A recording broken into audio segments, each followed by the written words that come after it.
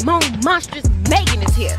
Sweet salami and a pair of stilettos. Is that Megan Thee Stallion? On Big Mouth? It's a big motherfucking deal they got me on the show. It really is. That's some hot girl shit right there. Ah, yeah, I ain't gonna lie. It's getting real sexy. Mmm, it's gonna be even sexier on October 20th. Boy, are you flirting with me? No, I'm telling everybody on the new season.